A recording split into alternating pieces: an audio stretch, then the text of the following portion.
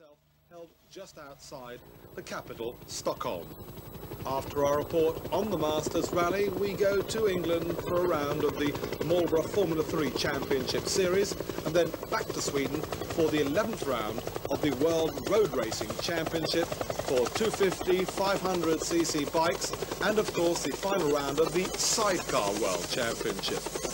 But first of all, back to Sweden and back to one of the most prestigious events to be held in that country and covered exclusively of the world. Of course, World Rally Championship, often covered here on Sky Channel's International Motorsports programme. On the left, we see Björn Waldegard, his co-driver, being introduced to the King of Sweden. Björn, who's well known, of course, driving the Toyota, and Stig Blomqvist and Björn Cederberg, two favourites with the crowd should be the Works Toyota Celica Turbos for the man who won the Safari Rally at his very first attempt, Juha Kankkunen, seen here, and of course his teammate Björn Waldegard. We spoke to Björn before the rally. Björn Waldegard, a good drive in the Thousand Lakes. Now you're competing here in Sweden. How do you think this event will go? You know, this is a complete different event. It's very short. It's only for one day and uh, mostly for publicity and the possibility of uh, people in Stockholm area to see a proper rally. Team Toyota Europe must consider this event important to send both you and Juha Kankkunen. I think all teams uh, start to see this kind of uh, activities or rallies important. For uh, as you see today, it's a lot of people around, and uh, it's a good chance to what to say expose yourself and your rally car and the sport. What is not uh, to forget. There's some very tough competition here. How do you think you'll go? It's always tough, and even if it's a short rally, it's uh, as tou- tough as ever. So it will be a good competition, and I will be fighting for a good result. One of the most spectacular cars on the recent Rally of the Thousand Lakes was the brand new Audi Quattro, the Evolution version, called the S1. It's been entered here for 1984 world champion Stig Blomqvist. Stig, you're competing here in the new Evolution Sport Quattro. How does that differ from the last uh, Sport Quattro? Uh, this one is much better. It's big, big difference. So for us now, it's a big step forward. Do the new aerodynamics help very much? Yes, because people are laughing at it, but it helps very, very much. Now, it looks more like a racer than a rally car, but it certainly seems to go. Ah, it's going very well, especially in high speed. It's fantastic, really. What about the competition here? Most of the top drivers are here. Ah, okay, it's quite a lot of top drivers here, so it can be quite tough even here.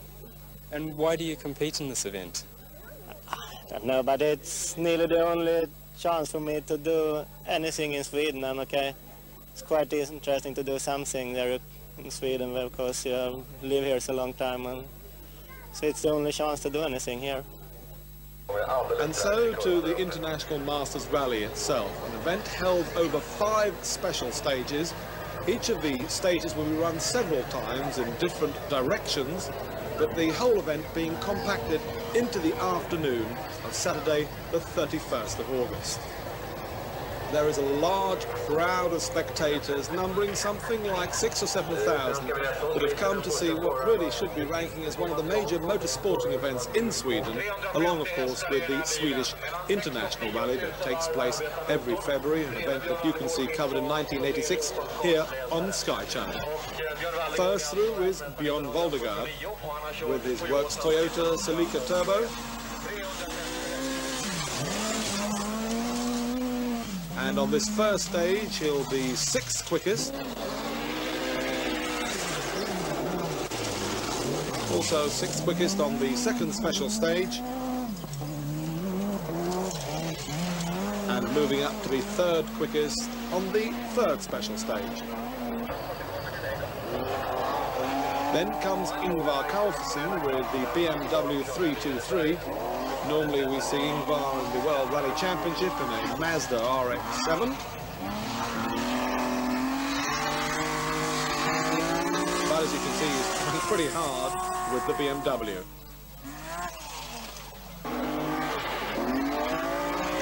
sometimes a little bit too hard.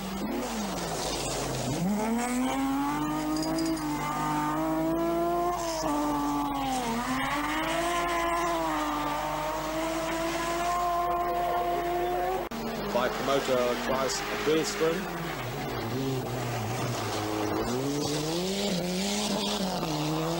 And as you can see, most of it on gravel, loose surface roads. Next through will be one of the most spectacular drivers that we'll probably be seeing in this report, Juha Kankkunen, with the second of the Toyota Celica Turbos, Finnish driver, won, as we said, the Safari Rally on his very first attempt, tipped by many to be a future world champion. Juha will be third quickest on the first special stage, fourth quickest on the second, and fourth quickest also on the third.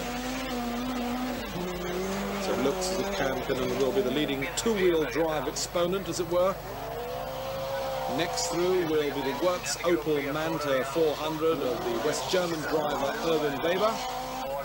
Another leading rally driving exponent, although of course uh, he's quite well known for rally raids. He also led the Safari Rally before the Opel.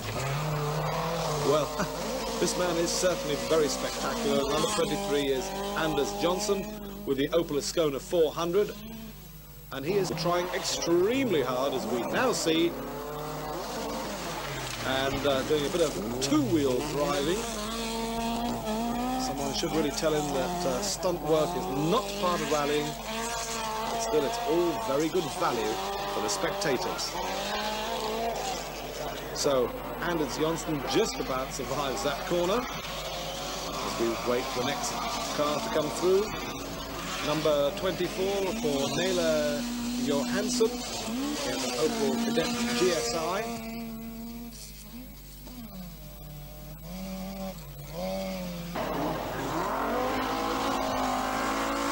And this number 25 is Esa Katola with the Audi 80 Quattro, the four-wheel drive version.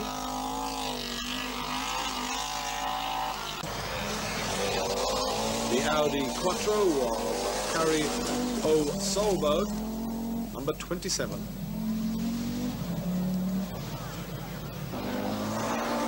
And he's trying hard.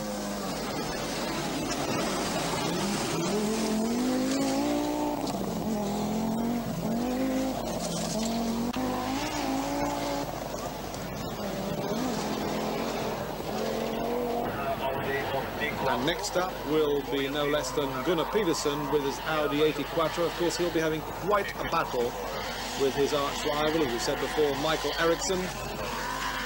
This man, Gunnar Peterson, who won the Group A category in the 1985 Swedish International Rally. And then he had that close battle with Michael Eriksson. After some three special stages, it'll be Michael Eriksson who's leading his private battle ahead of Gunnar Peterson. Just 10 seconds in it between the two Audi Quattro 80s.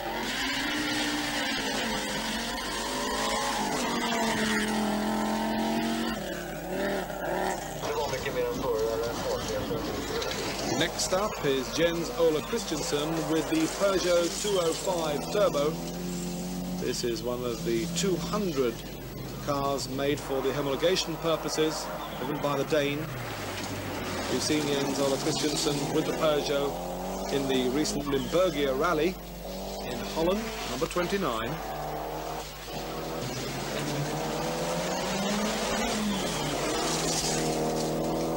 A car similar to that driven by Ari Vatanen at the beginning of the year.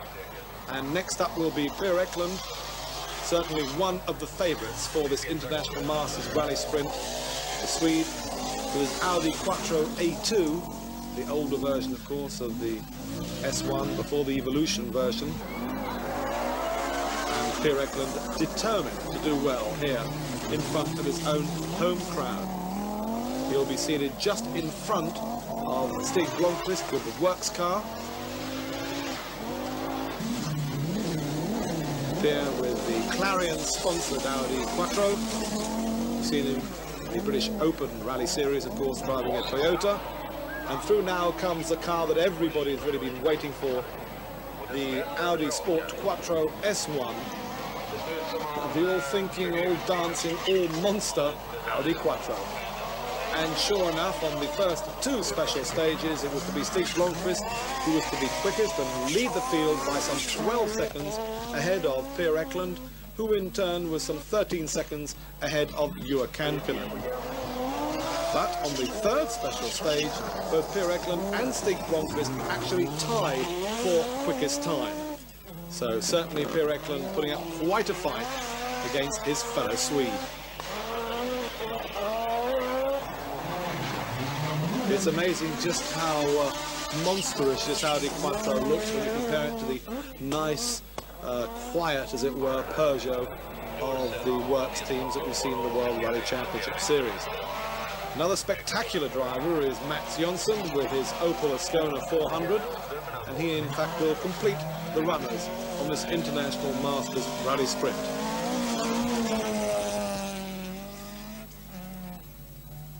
Mats Jonsson, who after two special stages, do well actually, he's lying in seventh place overall, car number 32.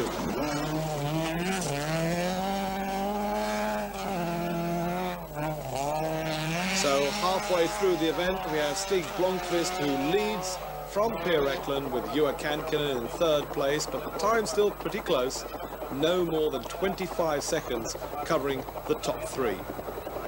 Well, for uh, spectators, there's plenty of side attractions such as the parachute jumping. And both of them down safely, not far away from their marker. Now, what a way to drop in for a rally sprint. Good weather conditions, it's not raining, nice and dry, which of course has attracted a very large crowd here to this major event. The whole of the International Masters Rally Sprint is in fact held on a military training ground and for the spectators and a static display of the various military vehicles, which incidentally are, not entered for the competitive part of the event. But it's an ideal area to hold such an international event, in fact very similar of course to the Mille Pistes idea, so now through comes number one, Bjorn Waldegard once again.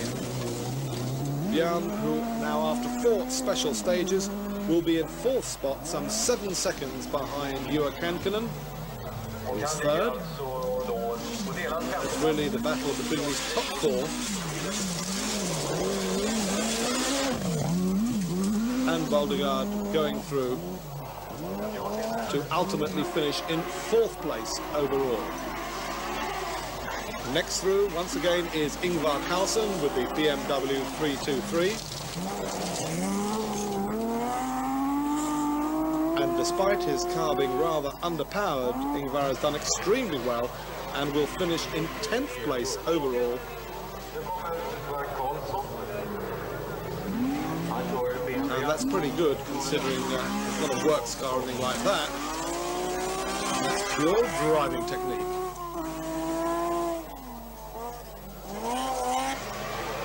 And here we see in slow motion again Ingvar Carlsson hanging his front wheel there over the ditch. Down it goes. Well, uh, that's using up every inch of the uh, gravel road and just that little bit more. Well, with the car, he'll finish in 11th place as up comes Juha Kankkunen. Now, Juha Kankkunen was quickest on the fourth special stage. In fact, there were three cars, all with exactly the same time on that fourth special stage. Kankkunen, Per and Stig Blomqvist.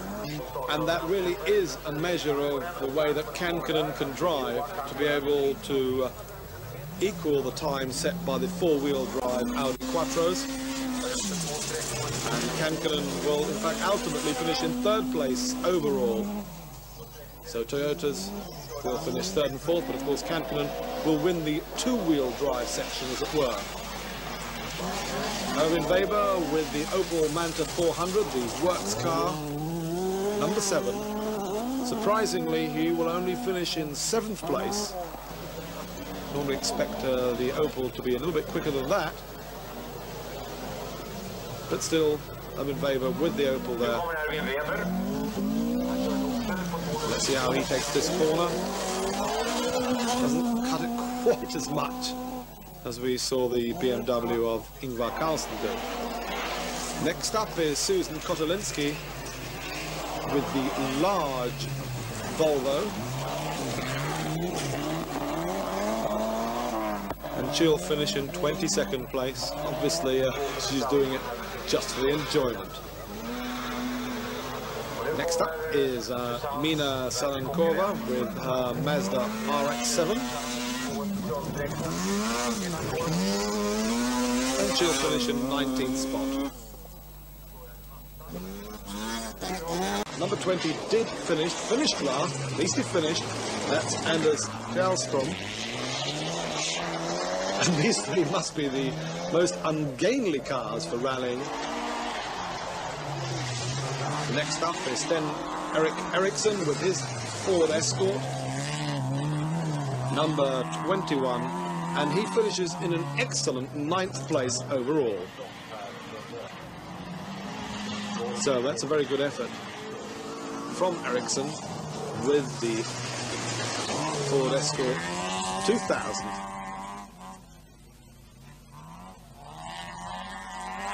Next up will be number 22 Bjorn Blomqvist with his little Golf GTI. Now Bjorn has really had quite an exceptional event because he'll finish in 13th place overall, equaling the time of Lars Erik Torph. Now Erik Torph, as we know, is a very experienced rally driver in Group A, and so Bjorn Blomqvist can be well pleased with his achievement here at the International Masters Rally Sprint. Next through is the ever spectacular Anders Jonsson, number 23. But being spectacular doesn't necessarily make you quick, because after the five special stages, he'll be in 18th place overall. Still, he makes good television. Obviously, when he sees the TV camera here from the Sky Channel, he tries even harder.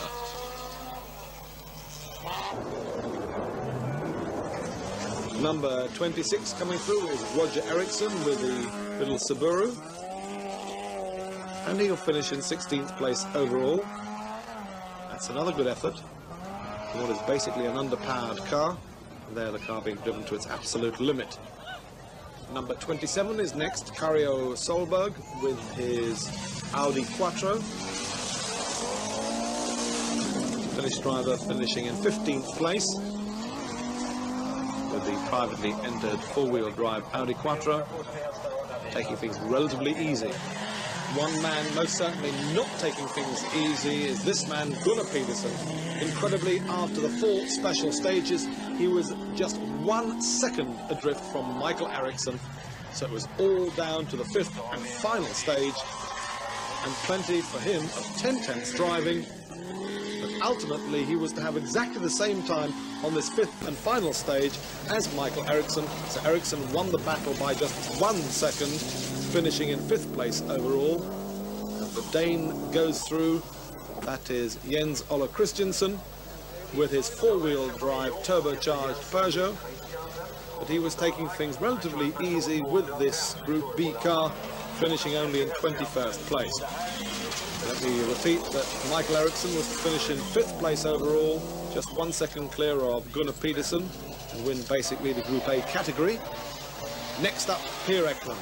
Eklund knowing that he had to pull out all the stops over these final two special stages to get up and try and take the lead away from the 1984 world champion Stig Blomqvist.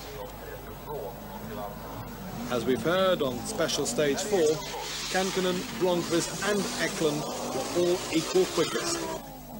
But ultimately, Per Eklund was to finish in second spot to Stig Blomqvist, just 14 seconds adrift from the ex-world champion, who was here to win the International Masters Rally Sprint for 1985 with the Works Audi Quattro.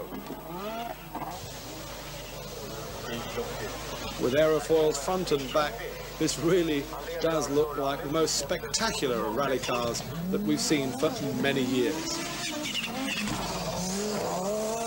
So Blomqvist there, number 31, the winner of the International Masters Rally Sprint from Per Eklund by some 14 seconds.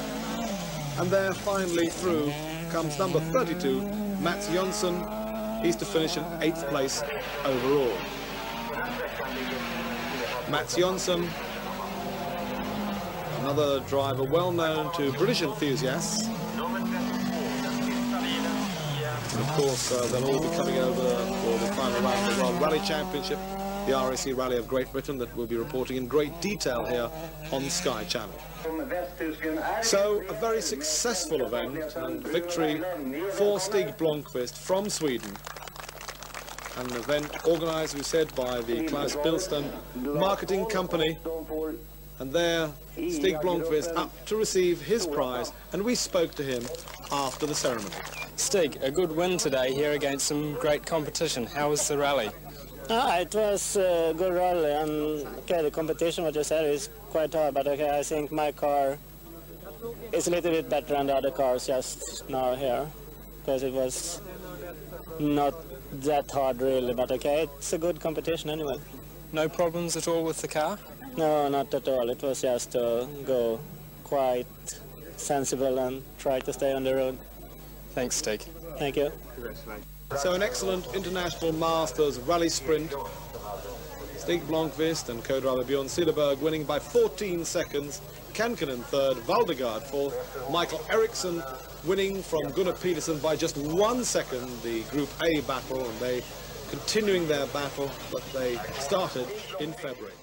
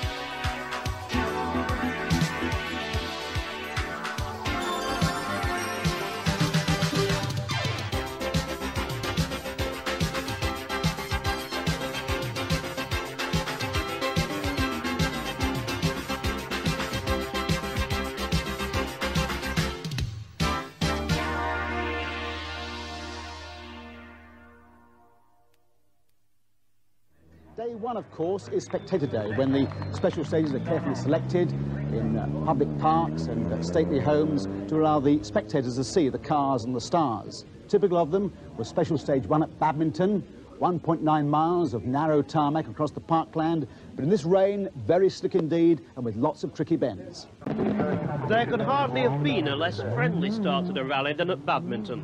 the rain made the famous eventing venue even more treacherous than anticipated, and world champion Timo Salonen was quickly showing his sideways cross-country skills. But it was the second man, Stig Blomqvist, who set the pace in the Ford RS200. Stig is the only past winner in the event, and he set an uncatchable time of 2 minutes 9 seconds. Markku Alen just has to do well in this rally to keep his championship chances alive. But the Rosberg of rallying was soon sliding haplessly over the grass. There were 10,000 hardy spectators here to see the stars in action, and they were rewarded with this full focus spin by Kalle Grundel in the Ford.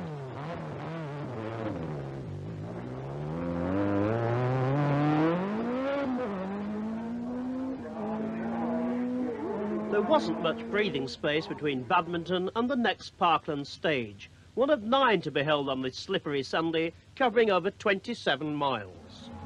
Stig Blomqvist led the rally from Salonen and Kankkunen as he started a three-mile mixed-surface Cirencester test, but this time he had to settle for fourth place behind three of the sure-footed Peugeots. The 27-year-old World Championship leader Kankkunen, winner of three rallies already this year, was in flying form. He was four seconds faster than any of his rivals and led the rally by six seconds on the way to Sutton Park. But there was no joy for Harri Toivonen, the younger brother of last year's winner, the late and much missed Henri Toivonen. Harry lost his metro right in front of our cameras and had to go back and start again. He told us, at least I was lucky, I didn't hit anything.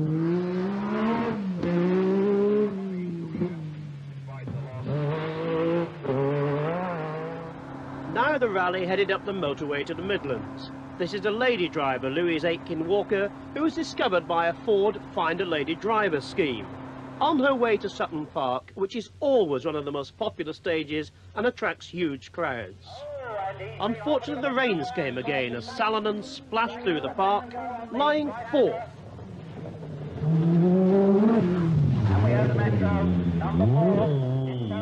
Tony Pond was earning the cheers of the 11,000 crowd. He was fifth fastest and fifth overall. Can he repeat his third place of last year? Kankkunen had to settle for second best here, but held his overall lead. Kalle Grundel was a long way behind team leader Blomqvist. He was seven seconds slower here. Mikael Ericsson was putting up a powerful performance. But the star here was Mikael Sundstrom, fastest by three seconds.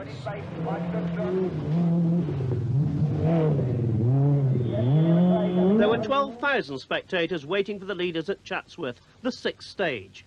3.56 miles of a narrow, slippery test. Stig Blomqvist was really on song. He moved into second place here with a fourth fastest time, and Sundstrom slipped to third, three seconds behind him.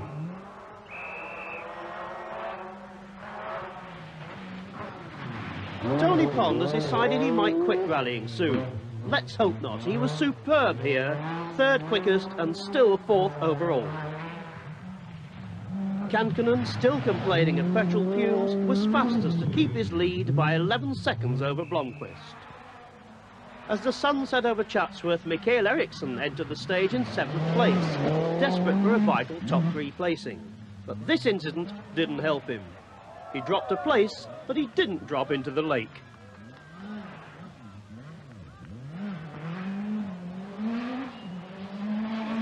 So at the end of the first day, Kankkunen has just got his nose in front of his arch rival Markku Alen in the Lancia. Pondy is tucked in third place in the Metro. Behind him, Stig Blomqvist in the Ford RS200. And then in fifth place, Timo Salonen, the reigning world champion, in another Peugeot. So four different makes of cars in the top five. Only on special stage number five, the petrol cap was open and about five liter petrol came into the car. And, and that was quite bad because we had to stop 200 before, meters before the finish open the doors to get some air because I couldn't even see the road anymore. But after that, it's gone well. And waiting for tomorrow when we see the proper stages. The first proper forest stage of the rally was Stang near Scotch Corner. Timo Salonen has not had the best of years as world champion, with just one win in his native Finland.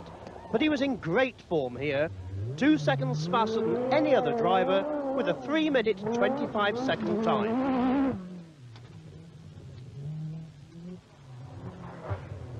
Malcolm Wilson seemed at home on this bumpy forest stage.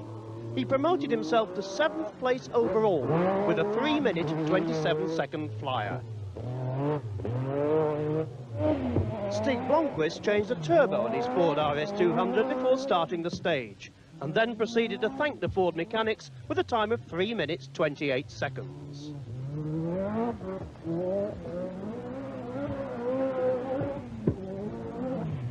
Kankkunen increased the gap over Markku Alen here. He was three seconds faster than Alen's Lancia. Mikael Ericsson was another scorching Scandinavian. His time of 3 minutes 28 seconds moved him into sixth place overall.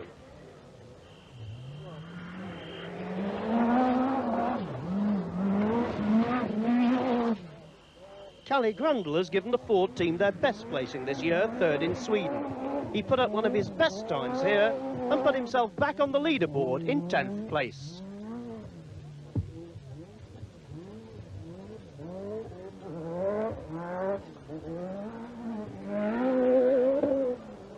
Jimmy McRae was obviously looking forward to arriving in his native Scotland in a strong position. You can just see the enthusiasm as he holds on to ninth place with another great time here, ninth fastest.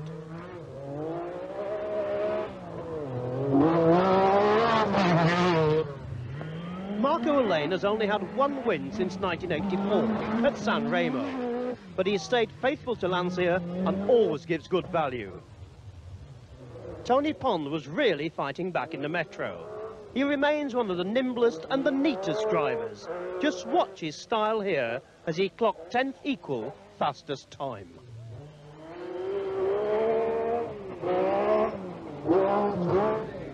One of the great qualities of the Lombard RAC is the sheer range of drivers it pulls in, from the crack international stars to two Bradford policemen in a rebuilt Lada, for example. It's a sort of rallying mecca. It pulls them in from all over the world. Sue Baker managed to catch up with one of them, a New Zealander called Tony Teasdale, in for the first time, driving a Metro 6R4. Tony, your first RAC and a bit of a change from your native New Zealand. How are you finding it? Well, I'm finding it a bit hard to come to grips with, actually, but uh, nevertheless, we knew it would be difficult, so uh, we're just trying to keep a, a, reasonable sort of a pace that's safe. So uh, most of we want to be at the end, and we figured it's still possible to be there in a reasonable place. So uh, when we feel a bit more confident, we'll go a bit faster, hopefully. Are you finding some of the stages rather tough? Uh, they're not tough, but they're just different, and uh, you never quite know what's the next corner, of course. So um, have to be a little bit more careful. What's the knack to being quick on this type of terrain with the 6R4? Well, I think the, the difference for me is that I own this car, and uh, it's cost us a lot of money to be here, so we have to have something to show for it at the end. So we're not too interested in rolling into the trees. So I suppose our approach is a bit different from the works drivers in that respect. Um, I've got to sell this at the end of the day. What do you reckon it's cost you as a private entrant to do this rally? I don't know. I'll find out when I get home, unless the bank manager rings me first. The fourth stage of the day took the cars into Wark Forest for the 6.85 mile Shepherd Shield stage. Timo Salonen had dropped to sixth place after Hamsterley. He climbed back to fifth place after this stage, where he was again the fastest.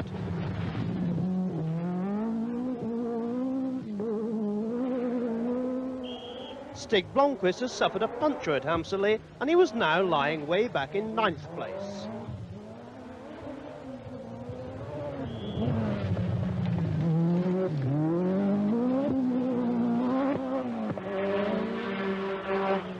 Tony Pond was fifth fastest on this stage, but the Metro was still back in 10th position.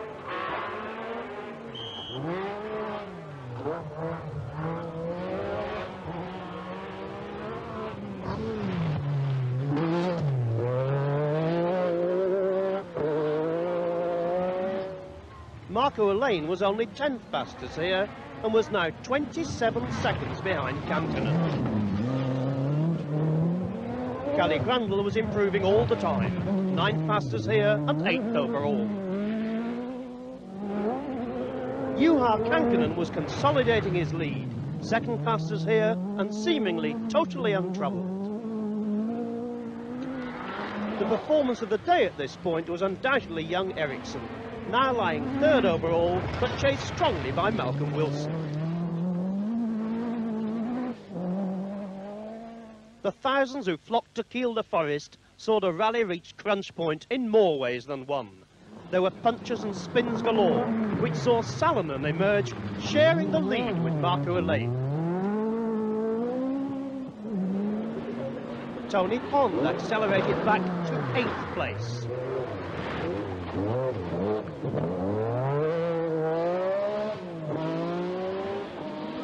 Just look at Markku Alen, happily sharing the lead. Kalle Grundel somehow kept the Ford in ninth place, despite a puncture.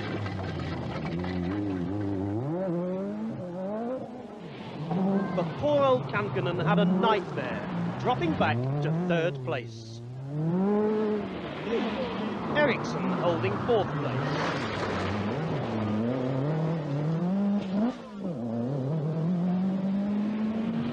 Stig Blomqvist now fifth.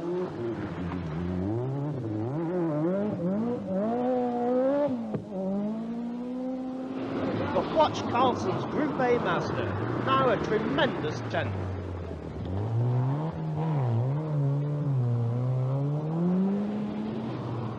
Sundstrom was sixth.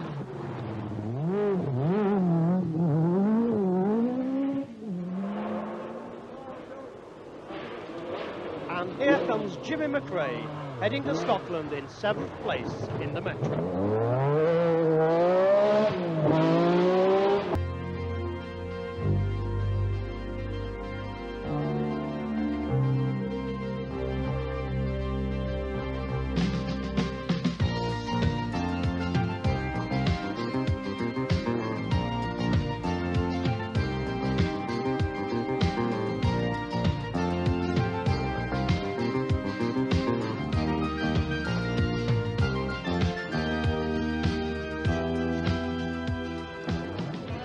The end of the second day, 22 stages run, here's what the top five looked like. Got a new leader, Mikael Ericsson, the young Swede in a Lancia. Behind him, absolutely neck and neck, Timo Salonen and Markku Alen. Hotly pursued by Juha Kankkunen. Then in fifth place, Michael Sundstrom in another Peugeot. There were two hours of gentle trundling before the drivers were plunged back into the forest in the Scottish lowlands. Overnight leader Mikael Ericsson had told us there are too many bends ahead and too many good drivers behind to think of a victory yet. And sure enough, the lead began to seesaw as soon as the quick Scandinavian quintet reached the forests of Craik and Castle O'er to start the day in earnest. Timo Salonen in the Peugeot started the day two seconds behind Ericsson, but was soon to find himself threatened by his Peugeot teammate Kankkunen and the Lancia star Markku Alen. He was fourth after these two stages.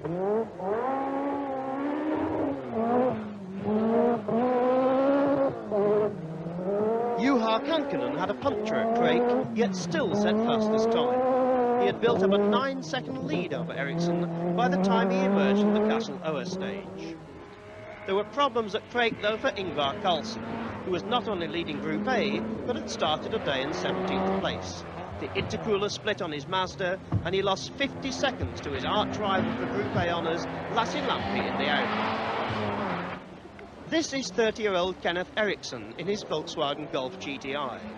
Already a world record-holding motorcyclist, he proved here why he had become the first Group A world champion on four wheels.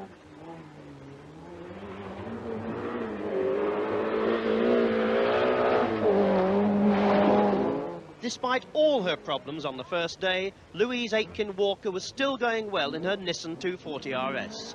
She was lying 25th overall, 1 minute 46 seconds ahead of her lady rival, Susanne Kottulinsky.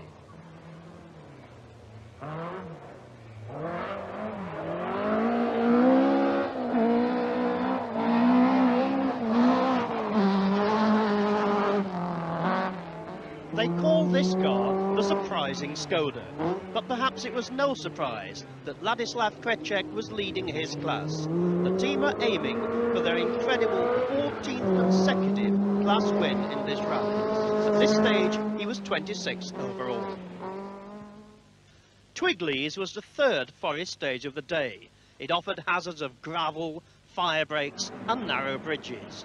But Mikael Ericsson was fourth fastest over the 6.23 miles. Timo Salonen was the quickest here, averaging just over 60 miles an hour, two seconds faster than his closest rival, Kankkunen. Markku Alen, still in third place overall, but he could only manage seventh fastest time, eight seconds slower than the leading Peugeot. This is Michael Sundstrom, popularly known as Mickey Finn. He was ninth equal with Blomqvist at this stage. Jimmy McRae and Tony Pond were chasing each other through the forest in sixth and seventh spots. They would share fifth equal time here, but no wonder the Finns were doing well. The wet, greasy conditions were reminiscent of the Thousand Lakes Rally. This is typical Tony Pond in action. Chris Lord, you had an exciting uh, day yesterday, we read. Well, it's been exciting straight from the word go, actually, Tony. We had a major off on Cirencester Park, the second stage, which dropped us down to 82nd. We gradually climbed up to the start to 42nd yesterday morning, decided to just keep on trucking. Um, and then we came across young Mr. Wilson parked up at the side of one of the Kielder stages. This is when Malcolm Wilson went off. Yeah, it was off and it didn't look too bad enough, and I figured three or four minutes would probably uh, be all it would take to get him back on. Unfortunately, it took 10. Uh, we couldn't get the tow rope on, and then this car stalled, and we had to push start it and what have you. But once you're into it, you've got a commitment. You can't very well say, well, tough, you know, maybe somebody else will stop. But I'm delighted that it's still going. Hello, Ken. Hi. How's it, uh, enjoying it? Yeah, great. Those last three stages were tremendous. Twiglees especially was uh, fantastic. Any problems at all? Yesterday I, I had a little indiscretion and uh, bent the suspension and uh, the front wing a little bit, but it didn't cost us too much time. And John Saint, his merry men, got it going again, so uh, no trouble. Are you? Uh, do you feel tired? No, no, not at all. It's a, piece, a lot easier than last year. Not a piece of cake, but it's a lot easier than last year. Very fresh. The Kershope and Lowther stages brought snow, but also dramatic changes. Ericsson retook the lead here. He was five seconds faster than any other driver, but just look at the conditions.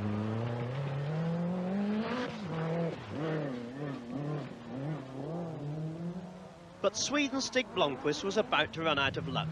At the end of the Kershope stage, his engine was smoking, and he would walk sadly out of Lowther, his rally over, so there'll be a new name on the cup. In contrast, Jimmy McRae was going splendidly. He was fastest on the roads he knows so well, and emerged from Lowther fifth overall in his Metro. Tony Pond was not enjoying himself. Six miles from the end of the Kershope stage, a front differential broke, and he dropped down to eighth place.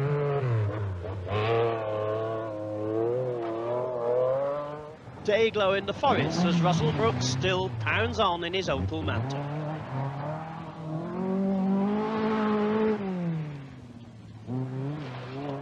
Let's take a look for a moment at the Group A battle. Ingvar Carlsson, the master, was struggling to make up for his early problems. Now he found himself 23 seconds behind his fiercest rival, Lasse Lampi, in the Audi Quattro.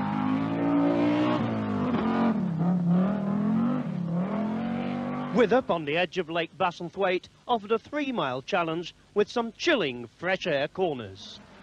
After all the dramas, it began to look as if Mikael Ericsson, second fastest here, would finish another day at the top of the leaderboard. World champion Timo Salonen was a full four seconds slower than Ericsson here, but still holding third place. Markku Alen in the Lancia was sensational, four seconds faster than any other driver. Kankkunen had his hairiest moment of the day, teetering on the edge of disaster with some incredible two-wheel driving. He was still third fastest on this stage. Mikael Sundstrom is once again amongst the pacemakers, proving he can handle the extra power of the full works car. Stig Blomqvist's sad departure left Kalle Grundel to carry the Ford flag. He consolidated his sixth place with an excellent time here at Wythop. Welshman David Llewellyn was moving up the leaderboard too. Ninth fastest on this stage, he was now ninth overall. Another Welshman going well was Glyn Jones in the Opel Manta. He finished 18th last year at his first attempt and was again 18th at the end of this stage. The two Grizedale Forest stages would take the crews from Lake Coniston to Lake Windermere, but there would be little time for sightseeing. Mikael Ericsson was soon in trouble. He shot off a bend and hit a tree, severely damaging the front of the car and affecting its steering. He was soon off the road again and limped out of the Grizedale stages down in third place.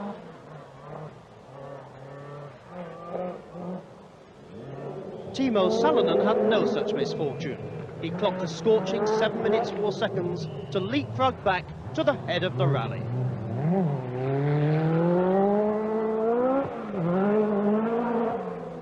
So at the end of the third day, 32 stages run, this is what the top five look like. In fact, it's the same five, slightly reshuffled. Timo Salonen has charged into the lead, hotly pursued by Markku Alén. Ericsson has slipped back a little into third place in the second Lancia. Juha Kankkunen's in fourth place. No doubt glad to be there after his terrible roll in Grizedale. And Michael Sundstrom is hanging on to fifth place.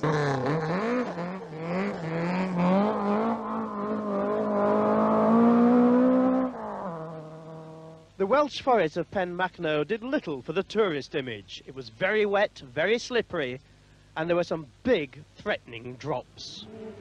By the time the survivors reached this hilly stage, Timo Salonen was still leading Markku Alén by eight seconds. Mikael Ericsson was third overall, fastest of the two Clocaenog stages.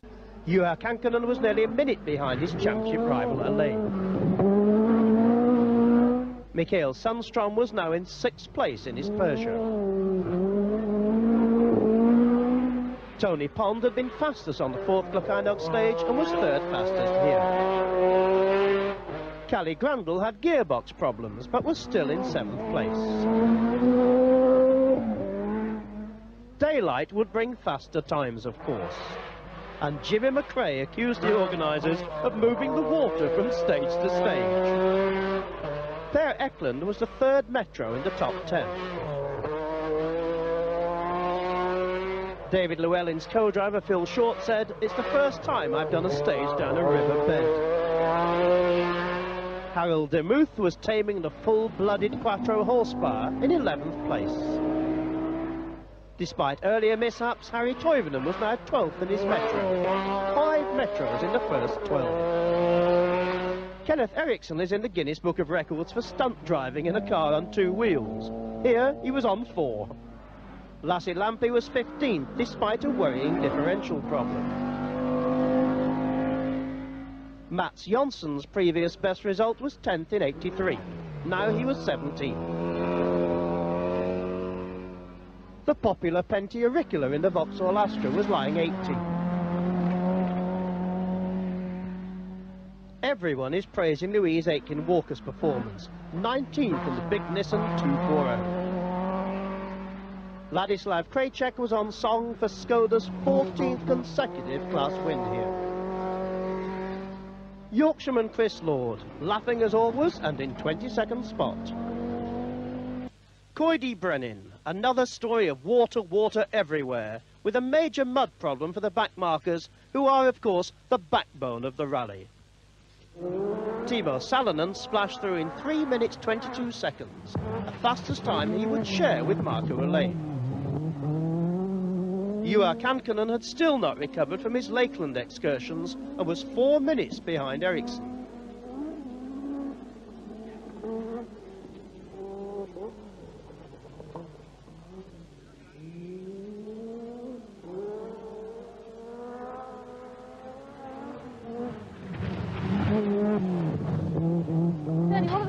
stages been like for you this morning? They were okay for us. very, very difficult. There was fog, um, wet, rain. How tough is the fight up there at the top? Because there are only a few seconds splitting mm. the first few drivers. Well, they're still fighting, and we're, and we're still fighting down where we are. I wish we'd had the three minutes because we'd have been fighting with them. That's just, that's the problem. Yes. How much can you claw back now? Do you think? Well, you can't really. Those they're having a big fight, so they're they're trying everything, and we can just about do their time. So there's no way we're going to climb back with them. We just want to stay ahead of the group that uh, we're playing with. So what would you hope for for the rest of the day? What sort of conditions? Well, I'd hope for a total disaster in the, in the Lancia and the Peugeot camp. Is it uh, true that you're the oldest competitor in this rally? Yes, at 57 years of age, Eddie and I are the oldest two competitors, and we've been together 31 years. Really? Yeah. Now, you're, uh, I mean, are you shaping up to it all right? Yes, you seem to be shaping up to it quite well. Do you find it tiring? Um, more hungry than tiring. And how's the car going? We've, we're having problems with the gearbox, but otherwise fine. Uh, angling very well and going very well. And uh, can you give me any idea how much is it, uh, this, this car, how much does it cost you to prepare or anything? Well, it cost £250 uh, four years ago, but we've spent a lot of hours on it and a lot of loving care. Anyway, you're enjoying it? Enjoying it very much indeed. Michael Sundstrom has already been picked to lead the British Peugeot team again next season. He was still in sixth place overall. Markku Alen had certainly not given up hopes of victory. He matched Salonen's speed on this stage.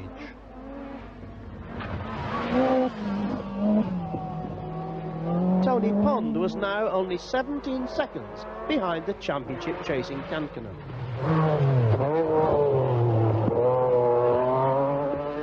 Kelly Grundel in the sole surviving RS200 had the concentrated might of the entire Ford service army to help him. The cheerful Swede was determined to give them a top placing in return. Jimmy McRae was consistently amongst the top eight times. Harald Demuth seemed to have cured an earlier engine misfire. Ingvar Carlsson had retaken the Group A lead some reputation. It is virtually the Kielder of Wales and would cause almost as many problems. World champion Timo Salonen could have lost the lead here. He spun and was 20 seconds slower than the fastest car. Fortunately for him, Markku Alen was not the fastest Lancia here.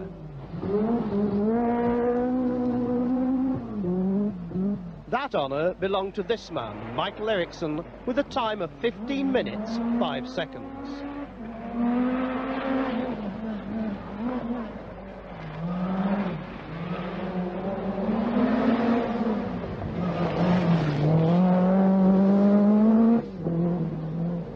Juha was reported to be unwell, with a suspected kidney stone problem. The championship chaser was certainly slower than in the earlier stages of the rally.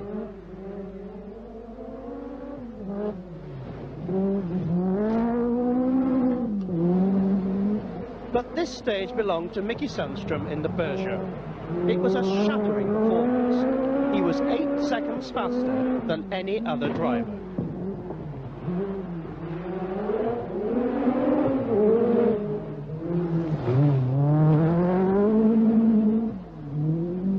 Markku Alen had possibly his worst stage of the day here. He was only fifth fastest, slow by the standards he had been setting, and would emerge from the forest 14 seconds behind Salonen.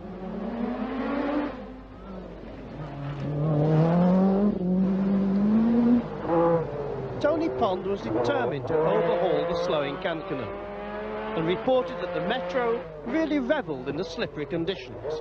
He was fourth fastest here and enjoying himself.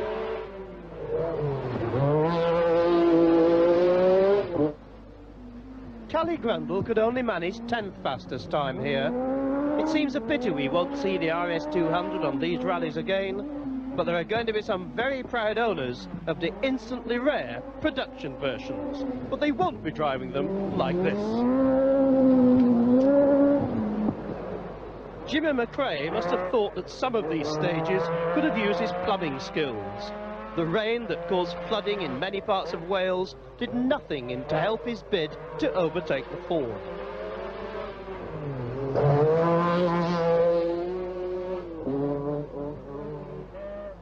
Per Eklund's co-driver is Dave Whittock, who was heading to his hometown Bath. If they maintain their ninth place, they could be sure of a liquid welcome tonight.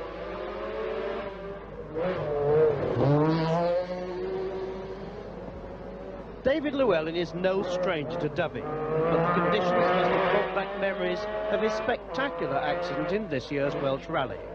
he was 11th fastest here, enough to keep him in the top 10.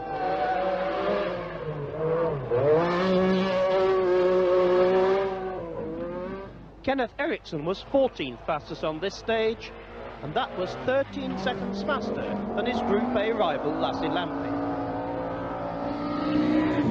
Five seconds slower than charging lane on this second test.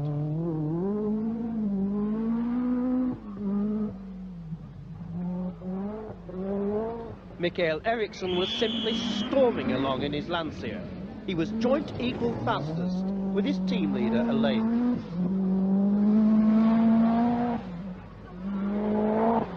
Juha Kankkunen was a full 19 seconds slower than the Lancias here and was now back in fifth place.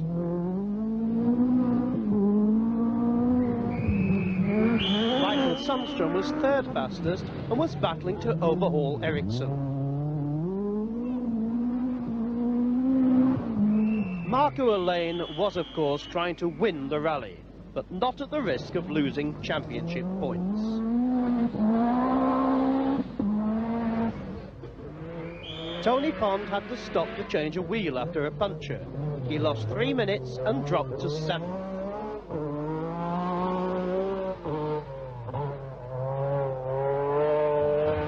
Kalle Grundle was fighting gearbox problems, and he lost half a minute on the leaders. Jimmy McRae now had Tony Pond in his sights, and he was trying to get seventh spot.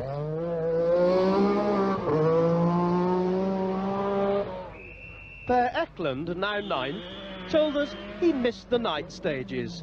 There's just no pleasing everyone. Mikael Ericsson may not be sure about his rallying future, but he has certainly done enough on this event to prove that he has patience as well as pace and would make a welcome addition to any works team. He was still third with only two stages to go.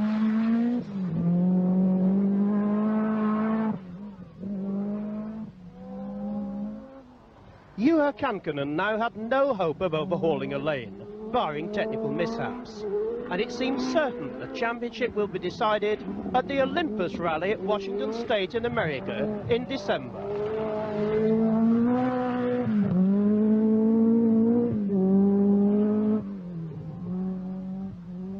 Timo Salonen could not have given his European Peugeot fans a better farewell present. He was 12 seconds ahead of Alen and seemed confident of a 10th World Championship win.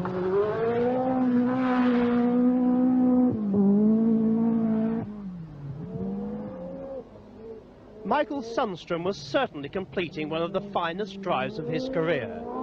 Peugeot are expected to announce next week that he will sign for them again possibly to lead the British Group A team.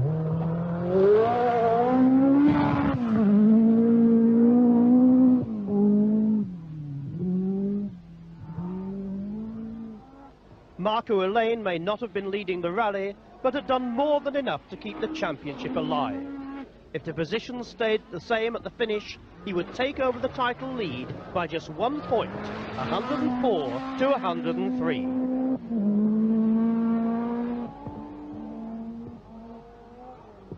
Kalle Grundel once again proved the most successful Ford driver.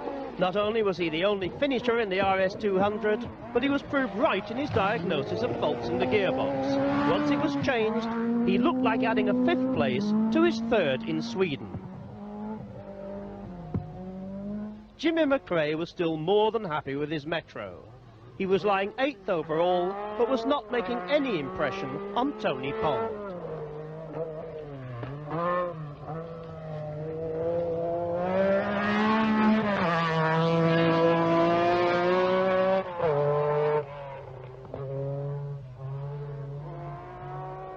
Tony Pond was naturally disappointed that punctures and differential problems had kept him from a top three placing. But he joked, I've enjoyed driving my Metro in this rally. I hope they'll let me keep it.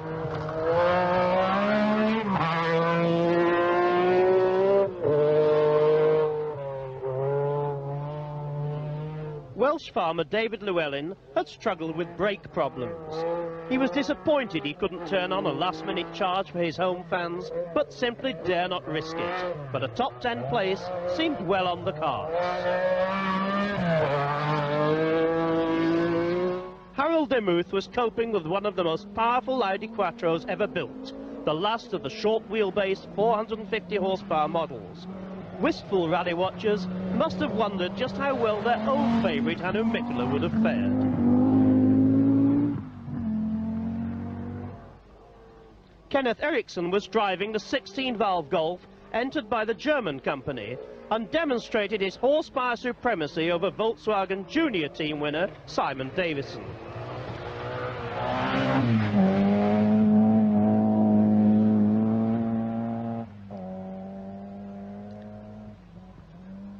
Ingvar Carlsson must have made Mazda feel very confident about their prospects for next season.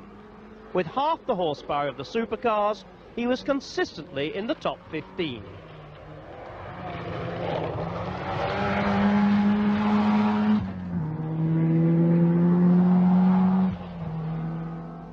And Lasse Lampi, despite struggling with a broken drive shaft earlier in the rally, had certainly demonstrated that the Group A Quattro Coupe could be a front-runner in next year's Rally Championships.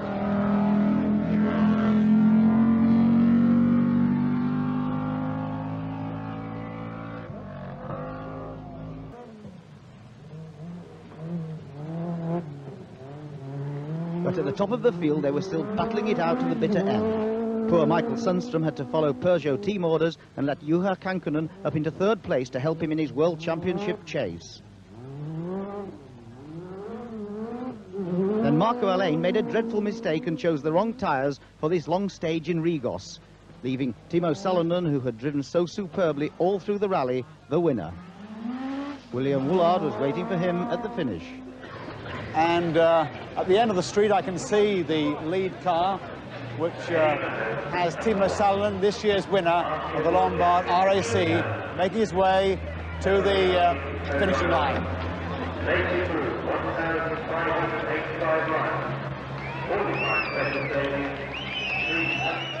Can I give you a stick, Mike?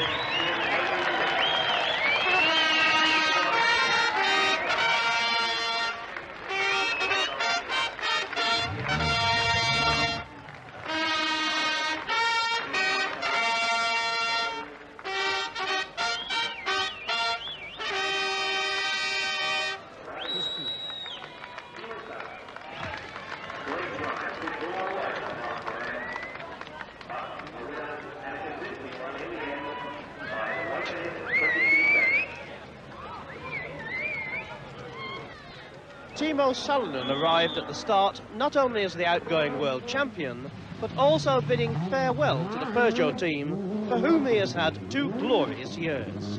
Next season, he will probably be driving a Group A Mazda, so this was possibly the last chance to see him using the incredible 500 plus horsepower of the pace-setting Peugeot 205.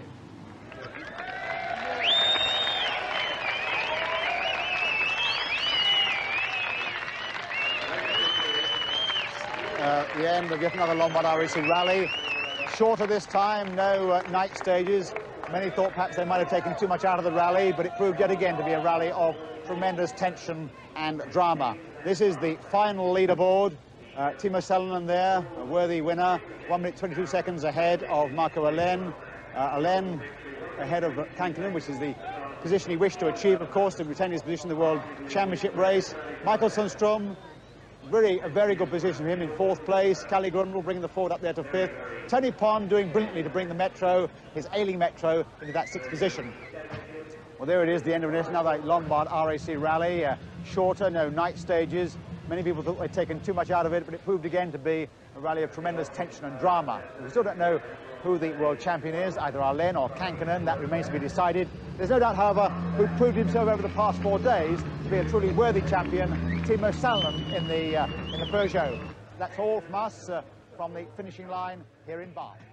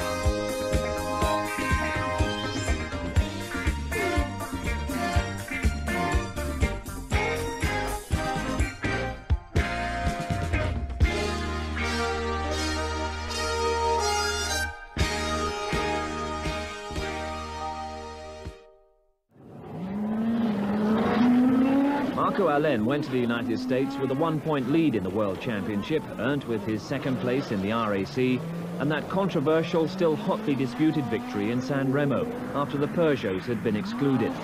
The Finn, 35 years old, 13 victories in a long career at the top, but he'd never won the World Championship. Juha Kankkunen had only risen to prominence last season. His third place on the RAC came after the disappointment of the San Remo disqualification, which could still be overruled. Kankkunen, 26 years old, victories this season for him in Sweden, the Acropolis and New Zealand, which shows the breadth covered by the World Championship. But for the decider, the championship was coming to the United States for the very first time. Starting point in Tacoma, Washington State, just a few miles from the home of the Seattle Seahawks.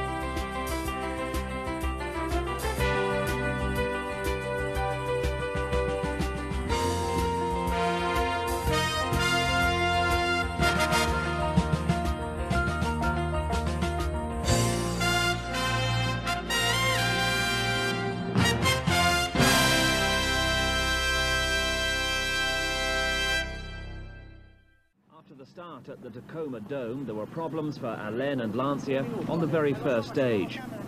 The Lancia had lost power steering, and Alen, with the tension showing, even at this early stage, was clearly upset that there'd be no time to fix the problem before the two very long forest stages to come.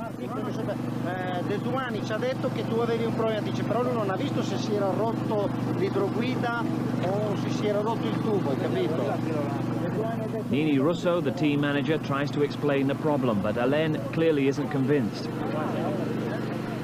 Alen had been six seconds quicker on the first spectator stage, but lost it all on the second. Kankkunen, due to join Lancia next season, came across to express rather unconvincing sympathy.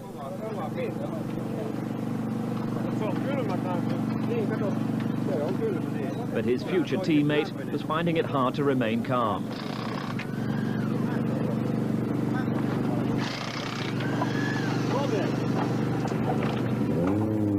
Kankkunen headed off in the knowledge that there was a fair bit of time to be gained before the night was over. Alen followed, knowing that the first advantage was clearly with Kankkunen. By the morning, though, with the rally heading west to the Capitol forests, fortunes had changed. Kankkunen's Peugeot had an electrical problem. The mechanics changed the alternator, but not the battery. This had to be done on the run down to the first stage, and Kankkunen lost a minute in the process.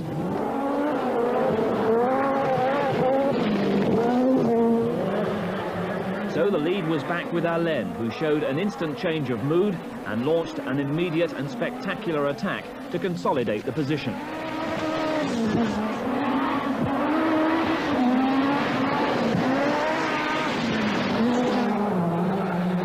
Away from the battle for the championship, there was John Buffum, America's top rally driver, in the full specification Audi Sport Quattro, the car being seen in the World Championship for the first time since Portugal.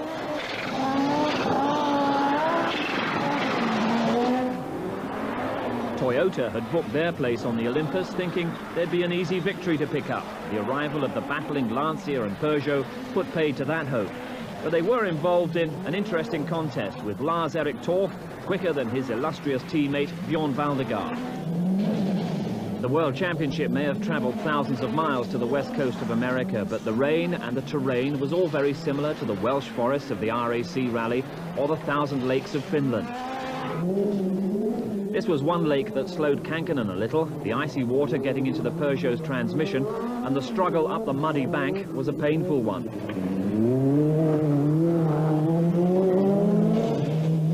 John Buffum in the Quattro was now slipping behind the pace set by the two flying Finns ahead of him. And even further behind, the Toyotas, Lars-Erik though, still leading his teammate Waldegard.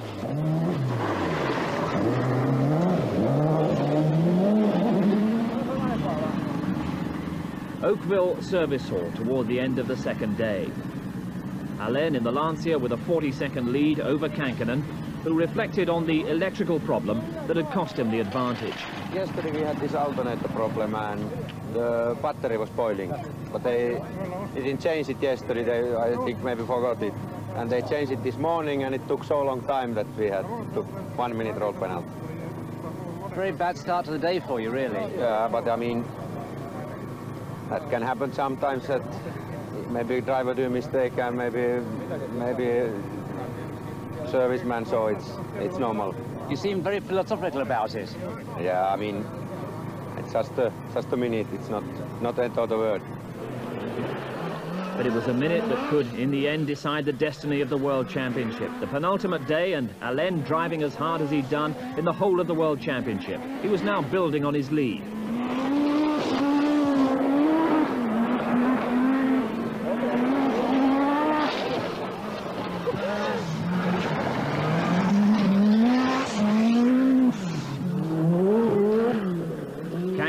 Kankkunen, who started the Olympus as favourite for the event, favourite to take the title, had no problems with the Peugeot but was struggling to beat Alen's pace.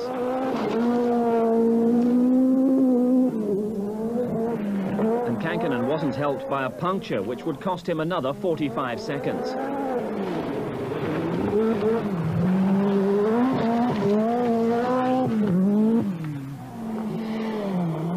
rest of the field, it was still the American John Buffum in third, putting on a good show for an admittedly sparse crowd who were getting their first glimpse of World Championship rallying. Buffum would finish in that third place, but a massive 20 minutes behind the two pace setters.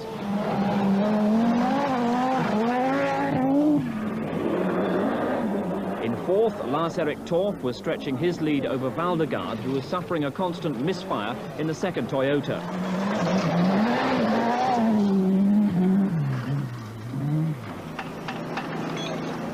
Service at the end of the second day. Markku Alen still with a comfortable lead. But it was still proving a little difficult to bring a smile to the man apparently set for the world title. Marco, what's up? Slug saw been broken last day. Oh dear. Oh. How much time did that lose you? I lost nine, nine seconds with Juha. What's the gap now then, Marco? Maybe I lead in now one and a half minutes. Oh well, that's that's pretty good margin anyway. That's a pity, you know. I lost many, maybe more than 10. The final day and a change in the weather brought yet another apparent change of fortune. In the thick fog on the first stage, Alen appeared to lose his edge, and in the poor visibility, he also lost a bit of confidence in his pace notes.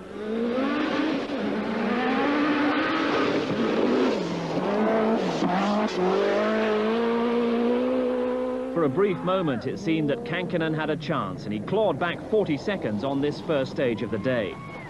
At one stroke, Alen's lead had been halved, and there were another 10 stages to go before the finish. Kankkunen put the advantage down to the fog, but that wouldn't last for too long. Marco said after that his notes was not really good, and it was foggy and a lot of foggy and, and also dark. So maybe that make the difference, but we were a lot quicker than he. And after that, the last three stages we have made the same time, so it's... What is the gap now then? It's 56 seconds or something like that. Do you think you can catch him today?